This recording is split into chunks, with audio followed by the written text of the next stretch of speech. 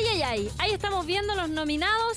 Junto conmigo, que no salgo ahí, pero las votaciones estaban entre Easy y Charlie. Y atención, porque las votaciones ya están cerradas. Terminando nuestro react, cerramos las votaciones. Ya no se puede votar por ninguno de los dos. Y ya pronto vamos a conocer el resultado de quién se salva de la lluvia de slime de mañana. Y yo aquí, miren, tengo un sobre. Este sobre adentro, como ustedes ya saben, tiene una foto. La foto de la persona que está aquí es la persona que ustedes salvaron de la lluvia de slime del día de mañana. ¿Qué dice el sobre afuera? Dice Televisión Nacional de Chile, Villavista 0990, Ah. Providencia, Santiago. Teléfono más 56 227 y ese tipo de cosas. Un documento oficial. Documento oficial ya, de esta televisora, de esta casa televisiva. ¿Quién crees tú que se salvó? ¿Quién creo o quién quiero? Tú dijiste que tú habías votado por Charlie. Lo dije. Porque, de una manera estratégica, porque Easy nunca ha jugado el, el juego para salvarse del slime. Así es, y mañana se enfrenta uno de los dos contra mí. Entonces tú prefieres a alguien que no Que tenga no tanto tenga tanta conocimiento juego. experiencia, tanto conocimiento, yo voté de manera estratégica. La persona, atención, la persona que se salva del slime Que se salva. es...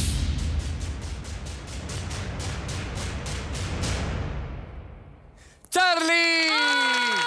Por lo tanto, mañana Easy se enfrenta junto a. Laruchan en la lluvia del slime. ¿Quién se lo llevará? Easy, mira que tenía 46% Oye, estuvo y Charlie peleado. 54. Estuvo muy peleado realmente, 56 contra, perdón, 46 contra 54, muy peleado la verdad. Ay, 4% de distancia nomás. Certificado por el comité del slime, ahí están los chicos. Easy, ¿cómo estás para mañana? ¿Preparada? Solo con mímicas porque no tiene micrófono.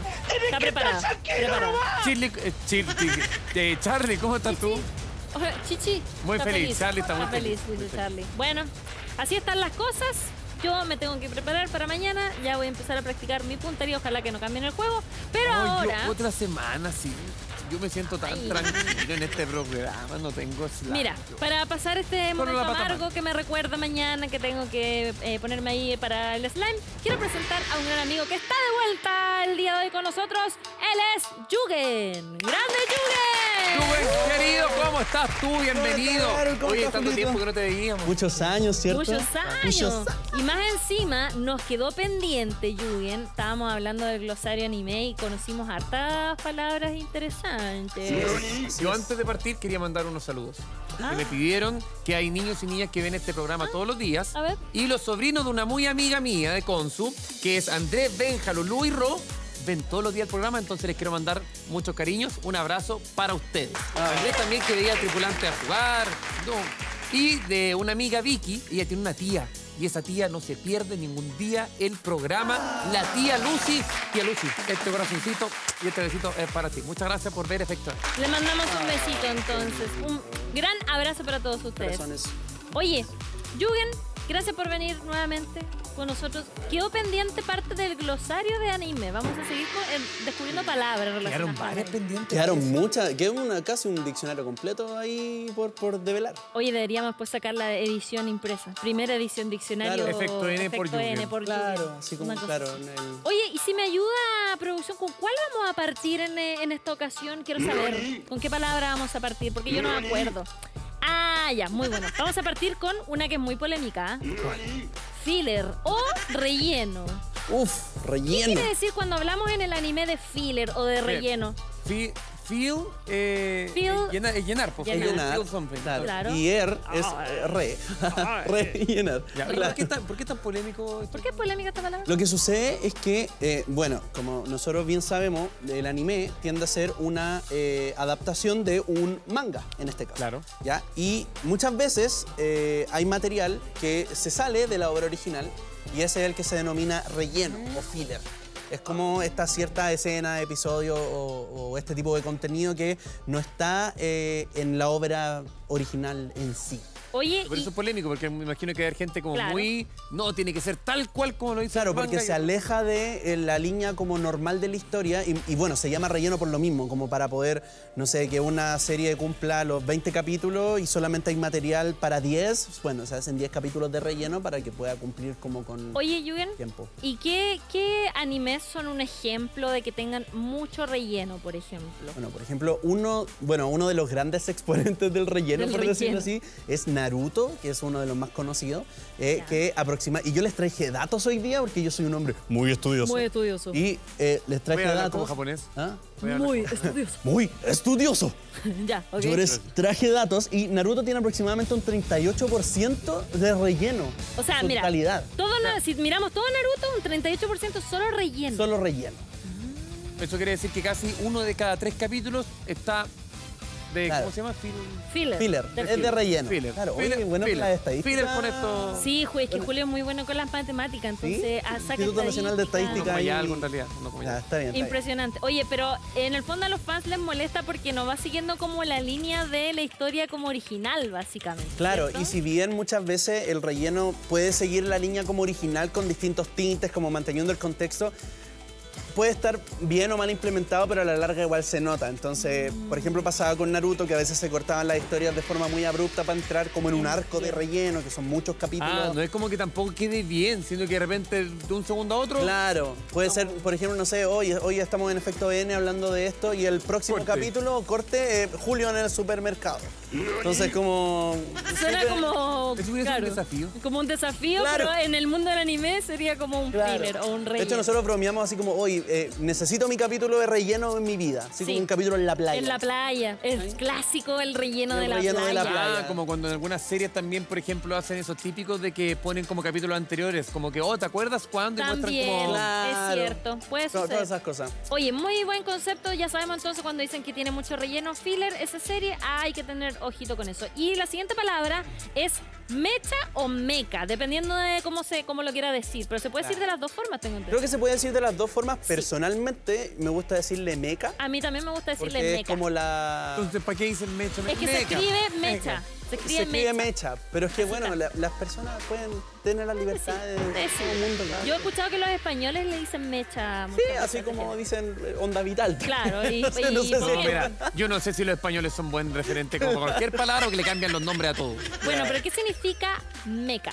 Bueno, mecha es un género del anime que se trata de eh, robots. Robots grandecitos. Puede ser Gundam o otra serie, por ejemplo, que estuvo en los cines hace un eh, poquito. Tengen Toppa Gurren Lagann se llama un anime Sí. eh, de mechas que se basa básicamente en eh, robots grandes. Que me diga que puede ser como meca de mechanics. Como que Claro, de hecho viene como de ahí la etimología de la Viene de palabra. ahí. ¿Y por qué si son cosas en, como de, de la cultura japonesa? ¿Por qué está todo en inglés? Porque la cultura japonesa está muy influenciada, ¿cierto? Por la historia que tiene Japón. Eh, Postguerra, Segunda Guerra Mundial, Japón tuvo, por así decirlo, una gran ocupación de norteamericanos y de personas, eh, digamos, angloparlantes. Y es por eso que utilizan muchas palabras en, eh, ¿cómo le dicen? Japonglish. Claro, Japón. Japonglish. Mira, Julio me preguntó eso así como para pillarme y no sabía, No, no no, sabía la me respuesta. da para pillar. Yo pregunto por, por querer aplauso, saber. saqué aplauso aquí No, está bien, la Que el nivel de conocimiento es Es que la Ruchan de inconmensurable. repente saca, y pum, Sí, así, toma, toda la información. De hecho, por ejemplo, hay palabras muy sencillas como, por ejemplo, café. Cuando tú vas a Japón, dices koji. Koji. Es verdad. Oye, O entre mira, japonés, como que, ah, Mira, coffee, pero le pongamos japonés. coffee. hamburguesa se dice hamburger. Hamburger. Hamburger. Claro. Mira, Microwave. Microwave. bueno, Microondas. Microondas. Oye, pero ahí veíamos ejemplos de series mecha Está como, al- mira, papás y mamás que probablemente conocen Robotech. Claro, Robotech, Festival de los Robots. Festival de los robots. Hay mucho género mecha. Claro. Oye, vamos con la siguiente que es Isekai.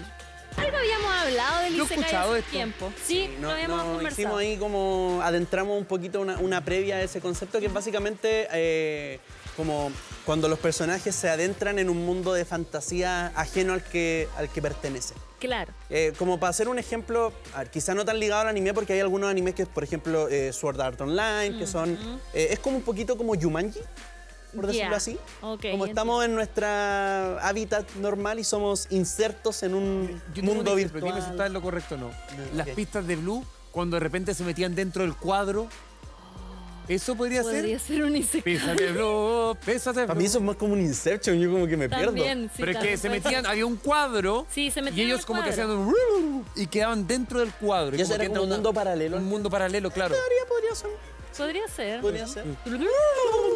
Sí, Haciendo esto me pasó Pavo. esto en la pierna. claro. Justamente, por favor. Por jugar a las Tratando pistas de del grupo meterme, Julio. Oye, pero el Isekai eh, hay ciertas condiciones, como que por ejemplo a veces los personajes se reencarnan, ¿cierto? En otro personaje que vive en el mundo de magia Claro. y fantasía. Y hay unas tramas loquísimas. Sí, realmente. Bueno, el Isekai per se no es del todo mi gusto, porque yo soy, tampoco, un hombre más sencillo, de, de gusto De sencillo. gusto sencillo. De gusto sencillo. Sí, yo puro pan con marraqueta y tecito. Eh, con pan, Muy bueno. pan con marraqueta. Cuéntame, ¿cómo es eso? Pan con... Pan- un pan la gente le pones como una Pan con marraqueta. marraqueta, ¿verdad? Oh, marraqueta con mantequilla, qué ¿no? tieso. Que- Pan con mantequilla. Ay, ahí está, ahí está. Oh, qué- mira, Ya, eso a mí- pasa en a- la TV en vivo. A mí Mira, también. sí. yo te dijo, sí, sí, no. Sí, Oh, sí, no, rico. sí, es muy bueno, es Aguante igual que el pan con marraqueta. lenteja, como Es que dice el es mi amigo, entonces yo, lo- yo lo apaño en todas. Gracias Lo por apaño, no sí. humillarme como él. Me, cago. Oye, pero ya, tú dices que eres de gustos más simples. El Isekai tiende a ser un poquito más complejo. Sí, tiende a ser un poquito más ¿no? complejo. O sea, tienen, tienen tramas que requieren un poquito más de observación, de Atención. poder, de atención, claro. Porque lo mismo este tema de los mundos paralelos tiende a también confundirse, entonces Puede sí, como que requiere ahí. Hay una que he escuchado, no tengo idea de lo que significa. Nani. De hecho, tenemos un sonido Sí, Nani. en, en NTV que dice Nani. Ese. ¿Y? ¿Qué significa Nani? ¿Qué? ¿Qué significa qué? ¿Qué? ¿Qué? ¿Qué? Nani. Nani. ¿Pero qué? se- ¿Qué? No sé, po. ¿Qué significa? ¿Qué, po? ¿Qué? ¿Qué? ¿Qué? ¿Nani? ¿Es qué? ¿Qué? ¿Qué? Es como Esos dos ese, es sonidos como son básicamente chiste. lo mismo. Es como ese chiste cuando dice, ¿cómo se dice eh, nariz en inglés? Eh, no sé, claro, no. No, sí. Claro. claro, una ¿Cómo vez es? sí. ¿Qué? Sí, ¿Qué? pues, ¿qué? Sí. ¿Nani es qué? Nani es qué. Y ahí- Eso es todo. Y ¿Y eso eso es todo? Nani es que. Claro, o sea, claro, eh, no sé, Pero un ¿no qué colgaste la ropa? ¿Nani? ¿Qué? Es que una Ah, palabra en... Es como un, Sí. es como un K, como casi que sabemos nosotros ahora. K. Es que Claro. literalmente significa que en japonés, pero como un qué de pregunta, como de qué. Pero de sorpresa, así como. Es que lo puedes usar como ¿Lo, sorpresa. lo estás diciendo en como- serio? Sí, como really. Claro, Nani. ese tipo de cosas. También lo puedes decir como nani, como sorprendido, así Claro. como una expresión. Nani. ¿Nani? Nani, nani. Nani, nani. Cuando yo dije lo del pan con marraqueta, tú dijiste, ¿Nani? ¿Nani? Así como, ¿qué? ¿Qué? ¿Estupidez acaba de decir este hombre aquí? Claro. Oye, muchas gracias, Yugen. Nos quedaron más palabras. Claro, muchas palabras. Todavía nos quedan Hablamos- palabras. Hablamos mucho. Hablamos Sí. mucho, viste que lo mío. Hay una, una tercera parte. ¿Se puede? ¿Se puede Sí, una tercera parte? cuando, mira, cuando venga la próxima vez, nosotros estamos a tener aquí un pan con marraqueta. ¿Te parece? Un pan con marraqueta. Y no te nos pierdas mucho, Yugen, por favor, que te echamos mucho de menos. Oh. Y ahora nos vamos a un tremendo capítulo del ¿Qué sucede? ¿Dónde qué sucede? Sí, sí, sí. Y mañana en este estudio va a haber lluvia de slime. Y también vamos a tener una música para bailar con Jordan y tú. ¡No! Así de bueno. Y vamos a tener el último tablero zombie del mes de manera presencial. Nos vemos Oh. mañana en Efecto N. ¡Que estés bien! ¡Adiós! Chau, chau.